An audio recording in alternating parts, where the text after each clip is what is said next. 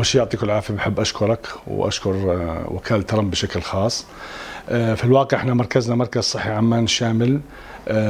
يعتبر ايقونه المراكز الصحية في المملكة الأردنية الهاشمية. يتبع له خمسة مراكز صحية أولية ويخدم بكثافة سكانية قطرها من مليون وربع إلى مليون ونصف نسمة. لدينا المراجعين من فئة المرضى ما يقارب 450 ألف مراجع. يوميا يستقبل المركز من 900 إلى 1100 مراجع. فلموقع الجغرافي ولأهميته ولتميز كوادره فلديه فلدينا أكثر من 40 عيادة باختصاصات مختلفة سواء من الطب البشري أو طب الأسنان. في الواقع بتوجيهات من معالي وزير الصحة الدكتور معالي الدكتور سعد جابر وأيضا عطوفة مدير صحة العاصمة الدكتور نايف الزبي الأكرم. آه تم آه تم إلغاء البصمة في البداية خوفا على الكوادر الصحية لئلا ينتقل مرض فيروس الكورونا. وكذلك تم وضع عدة خطط خطط آه، لحماية الكوادر آه، الصحية. فتم التقسيم إلى عدة آه، إلى عدة فرق بحيث إذا لا سمح الله أصيبت أي فرقة تبقى الفرق المسانده جاهزه للطوارئ فشغلنا الكادر المركز بطاقة بادنى طاقة وبكفاءة عالية ويستقبل مرضى الأمراض المزمنة يوميا فتم بالتعاون مع نقابة الأطباء الأردنية آه، همة وطن وكذلك زملاء الأطباء المتبرعين مشكورين على ذلك بما يتبرعون بوقتهم ومالهم وبجهدهم بإيصال الدواء إلى منازل المرضى. فتم آه، عمل فريق لأخذ أرقام وهواتف آه، المرضى وأرقامهم الوطنية وأسمائهم ويتم توزيع الدواء عليهم حسب المناطق. كان في البداية نخدم يعني كافة كافة يعني أنحاء العاصمة الحبيبة عمان لكن آه، كان الحمل علينا والمجهود كبير جدا فتم فقط في الودة الأخيرة اللي هو توصيل الدواء الذين يتبعون منطقتنا الجغرافية. فيوميا كنا ما يقارب 300 وصفة تصل إلى البيوت 300 400 وعن طريق آه، كما أسلفت زملائي الأطباء وكذلك آه، طبعا خوفا من أن لا يتجمهر المواطنون وهذه رسالة لهم أيضا بحب أنوه فيها عبر آه، شاشاتكم الكريمة بأن آه، لا يتجمهروا وحيث وحيث أن قانون الحظر أيضا يمنع التجمهر فتم إيصال الدواء إلى هذه وفي الفترة الأخيرة تم بالتنسيق مع زملاء أطباء الأسنان حيث تم فتح عيادات الأسنان بشكل أولي لتخفيف ومعاناة مرضى الأسنان فتم تم فتح العيادات من الساعة الثامنة صباحا وحتى الثانية عشر ليلا. وكذلك ممكن نستعين بأخصائيين الأسنان حيث لدينا ما يقارب حوالي 22 زميل أخصائي كافة اختصاصات الأسنان. ويردنا يوميا ما يقارب من 30 إلى 40 مريض أسنان. وكذلك من يوم الأحد أوعز معالي وزير الصحة بفتح الأموم والطفولة جزئيا وذلك لأخذ مسحة من القدم حيث تشمل المرض ال phenylketonuria وكذلك التفول وقصور الغدة الدرقية الخلقية. فيوميا يردنا حوالي من 50 إلى 60 طفل وهذا الضروري في بداية آه، العمر للطفل من عمر يوم إلى إلى تقريبا شهر لكن يفضل خلال من يوم من ثلاثة أيام إلى أسبوعين ولئلا يصابوا بأمراض وهذه الأمراض مكلفة سواء كانت على المريض نفسه أو على الأهل وأيضا مكلفة على الاقتصاد الأردني. أخيرا أتمنى إلى جل... نتمنى بأن يحمي الله جلالة الملك وأن يحمي الأردن بقيادته وشعبه وجيشه وأجهزته الأمنية وأيضا كوادرنا الصحية التي لا تخلق جهدا إلا وقد قامت به على أحسن وجه. يا هلا يعطيكم ألف عافية آه، معاكم الدكتورة آه، مريم بسام العموش أخصائية تركيبات سنية في مركز صحي عمان الشامل. طبيعة عملنا في مثل هذه الأزمة هي عبارة عن الإشراف على توزيع الأدوية المزمنة آه، بأخذ أسامي المرضى وأرقامهم الوطنية وتليفوناتهم ثم توزيعها على عيادات طب الأسرة لكتابة الأدوية وبعدين تنزيلها على الصيدلية لصرف الأدوية وتبكيجها في أكياس ثم آه، بترجع لنا على أساس إنه نحكي مع آه، مريض مريض بالإسم مشان ناخذ آه، عنوانه ونوصل له الدواء لعنده. نحن بنعرف إنه المرضى المزمنه هم من الناس اللي يعني contraindication هم يطلعوا ويفوتوا بمثل هذا الوباء. يعني إنه بدنا نحاول إنه ولا واحد فيهم يطلع من بيته يوصل له الدواء لعنده. هلأ في أول ما بلشت هي المشكلة وأول ما بلش الحظر ساعدونا شباب مبادرة وطن مشكورين بتوزيع الأدوية.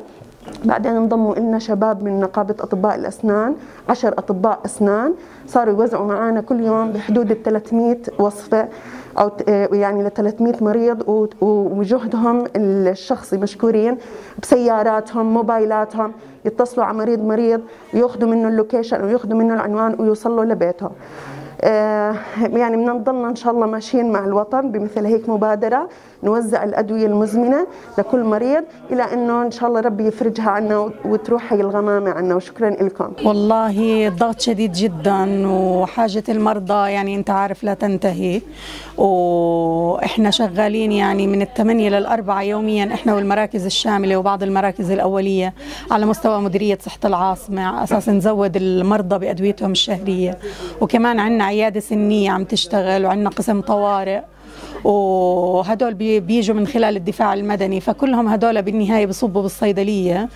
و يعني الأدوية كمخزون الأدوية اللي سألتني عنها آه، متوفرة والحمد لله. يعني بدك تقول 99% من الأدوية متوفرة ما عندنا مشكلة مع الأدوية ومخزون الأدوية كافي ولله الحمد. آه، السلام عليكم. أول شيء آه، بحب أحكي بالبداية إنه ربي يعدي هالازمه الازمه على خير. ويحفظ لنا الوطن المواطن بالجميع آه، طبعا تم تجهيز عندنا عيادة أسنان للحالات الطارئة فقط اللي بيتم استقبالها عن طريق الدفاع المدني فقط. آه، تشمل آه، أمور طارئة في طب الأسنان ككسور كالتهابات حادة. يتم استقبال المريض العيادة مجهزة من كافة النواحي التعقيم على على الأصول. من من الألف إلى الياء. أه والله المستقبل عند تقريبا حوالي يوميا 20 حالة مش أقل من 20 حالة. كلهم أه، يعني بيجوا ضمن البروتوكول المتبع اللي نزلت وزارة الصحة. الكادر اللي موجود هل هو كافي؟ الكادر كافي وبالتناوب ومع مع وجود كادر التمريض والتعقيم وكل شيء تمام. دكتور إحنا هسه بقسم الإسعاف الطوارئ. احكينا شوي عن الخدمات اللي قدمها عدد الحالات اللي استقبلها. آه، طبعا الإسعاف والطوارئ بستقبل حالات يوميا الحالات الإمرجنسي المعروفة.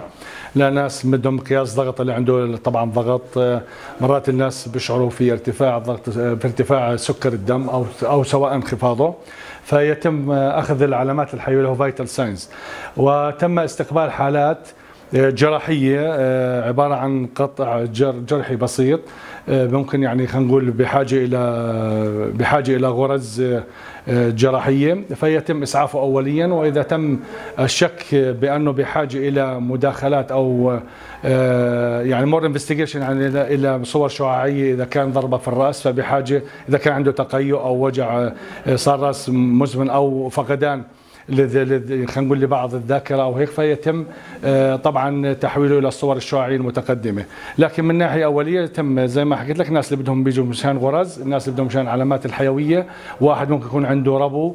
بنحاول إحنا بنحطش على أجهزة هاي لأنه ممكن ينتقل الفيروس عن طريق الأكسجين. فيتم تحويله إلى الأمراض الصدرية في مستشفى البشير. وطبعا الزميلات ما شاء الله عليهم بقوموا بعملهم على أحسن وجه. ووجد للحالات الطارئة. طيب آه، في حالات وصلتكم شكيتوا فيها انها آه، والله أكثر من حاله في الواقع في بداية الأمر كان يجينا الناس اللي عليهم حرارة، الناس بيجي عليهم سعال، عندهم عفوا سعال آه، أو عطاس فيتم أخذ الإجراءات اللازمة عبر السلامه إجراءات السلامه العامة التي نعرفها جميعا ككوادر طبية. وكما ترى زميلاتي يعني مخضات الاحتياط من ناحية اللبس ويتم بعد أخذ الحرارة استشارة الطبيب الباطني. ومن ثم إذا رأينا إنه في حالات مشتبه فيها وفي الواقع كذا حالة كان مشتبه فيها تم تحويلها عن طريق الدفاع المدني إلى مستشفيات الأمير حمزة والبشير وتم تعقيم المكان فيما بعد وتهويته بالطرق الصحية اللازمة. آه، من المعروف في ظل الإغلاق المرافق لانتشار وباء كورونا تم إغلاق عيادات الأسنان بالقطاع الخاص بشكل كامل فبرزت الحاجة لوجود آه، علاج للحالات الطارئة مثل الخراج السني مثل التهابات العصب والأمراض السنية التي لا تعالج بالأدوية فارتأى معالي وزير الصحة بافتتاح عيادات الأسنان في عمان الشامل وأبو نصير للفترتين الصباحية والمسائية من الساعة الثامنة وحتى الساعة الثانية عشرة مساء. شرط أن يتم نقل المرضى عن طريق الإسعاف والدفاع المدني لتلقي الخدمة الطارئة فقط لإزالة الألم وإراحة المريض. الله يعطيك الصحة والعافية. أولا أه بعرف بحالي الدكتور صفوان دبابنة رئيس قسم الأمراض الوراثية وزارة الصحة الدكتور لطيف مرقة مستشارة العيادات الاستشارات الوراثية طبيبة أطفال والدكتورة حنان الصيرفي معلمتنا ودكتورة أطفال استشارية صدرية أطفال. آه إحنا ماشيين بظرفنا اللي إحنا قاعدين بنشوفه الوباء العالمي ماشيين برنامج ذو أولوية وأهمية يعنى بالكشف المبكر عن جميع مواليد الأردن ولكافة جنسيات اللي آه وطأت آه أرض الأردن. تقدم الخدمة مجانا بنقطة دم من كعب القدم تكشف ثلاث أمراض وراثية شائعة الحدوث. عند التحري وكشف هذه الأمراض يتسنن المداخلة لتثبيت التشخيص وإعطاء العلاج المناسب في الوقت المناسب لتفادي تبعات هذه الأمراض والتي تتمثل بإعاقة عقلية وحركية لا رجعية وحتى خطر الوفاة. نتكلم عن ثلاث أمراض وراثية. المرض الأول هو مرض ال phenylketonuria بدي مجال لزميلتي الدكتورة لطيفه تحكي لنا قديش الأعداد عندنا. دكتورة لطيفه مرقه معكم. أنا مشرفة على عيادة ال PKU والاستشارات الوراثية. يعني إحنا عندنا في العيادة بنغطي لمعظم محافظات المملكة والعمان كمان. عندنا عدد المرضى 250 مريض. عدد الحالات بنستقبلها يعني بنكتشفها كل سنة من 10 ل 15 حالة من مرض الفينيلكيتينيوريا وهذا مرض وراثي. يعني إذا شخصنا المريض من أو الطفل بالأيام الأولى بنحميه من إعاقة عقلية. وإذا ما تشخص بصير عنده إعاقة عقلية وبكون عنده كمان إعاقة حركية لا رجعية. فعد كثير بهمنا إنه كل الاهالي يحاولوا إنه ما يتأخروا عن إنه يجوا بالأسبوع الأول لعمل هذا الفحص لأنه كل ما شخصنا مبكر إحنا بنحميهم من هاي الإعاقة العقلية. بالنسبة لعيادتنا بتغطي الأطفال بعد الفحص بنعملهم فحص إكلينيكي وبعدين بنتابع نموهم العقلي والحركي وبنتابع كمان الأوزان ومحيط الرأس وبعدين بنعطيهم يعني الدولة هون من الحمد لله بفضل الله إنه بنعطيهم حليب وطحين هذا بكلف كلفة عالية على الدولة بس مأمنين بكل الغذاء الأساسي اللي بخليهم يعيشوا أطفال طبيعيين. وإحنا دائما بنقول للأهالي أنتوا هلأ حالة إذا أنتوا حاولتوا إذا أنتوا ضبطتوا الحمية الغذائية بطريقة صحيحة أنتوا بتحافظوا على صحتهم وبتحميهم من الإعاقة العقليه فعد هذا هو يعني دورنا وإن شاء الله إنه ننجح في مهمتنا حتى هلأ في هذا الظرف الصعب اللي إحنا فيه. حاولنا نأمن لكل محافظات المملكة بالحليب والطحين. وصلنا لهم إياه لعندهم وهذا يعني بفضل كان جهود متضافرة من الجميع من من داخل المركز ومن خارج المركز. ويعني ضباط الارتباط في المديريات كافة ساعدتنا. وكمان وزارة الصحة ما قصرت و يعني والحمد لله يعني كله بي يعني بجهود متضافرة من الجميع. دكتورة حنان صيرفي استشارية صدر أطفال وزارة الصحة حاليا بمركز الصحي عمان الشامل. نحن هون عندنا عيادة أمراض صدر وحدة أمراض تنفسية وصدر بنتابع حالات المزمنة للربو القصبي والتهاب الأنف التحسسي وكمان بعض الأمراض التنفسية المزمنة مثل ال cystic fibrosis وأكيد الالتهابات التنفسية وخاصة الإنفلونزا الموسمية. حاليا هلأ مشان وباء الكورونا كل يوم في طبيب أطفال أكيد. أنا موجودة أربعة أيام بالأسبوع. لتلقي الاستشارات إن كان عن طريق الأونلاين أو التليفون أو حتى مرضى اللي بيجوا عن طريق الدفاع المدني بحالة الحالات الطارئة. وكمان بنكتب الأدوية المزمنة للأمراض يعني أمراض تنفسية المزمنة مشان يجوا يتابعوا المرضى ويجوا ياخذوا الأدوية وبنتمنى الصحة للجميع. أنا اسمي هيثم مناصرة موظف في برنامج حكيم من شركة الحوسبة الصحية. حاب بس يعني أعقب أو أحكي عن برنامج حكيم قديش سهل على المراجع وقديش سهل على الكادر الطبي بأنه تكون كل الأدوية اللي, اللي بتلزم مرضى الأمراض المزمنة بيقدر يصرفها لأنها موجودة على النظام. يقوم الصيدلي بتفعيل الدواء الموجود ويقوم المتطوع بعد ذلك بإيصالها للمريض آه، حسب الآلية المتبعة في كل آه، في كل المراكز الصحية في صحة العاصمة.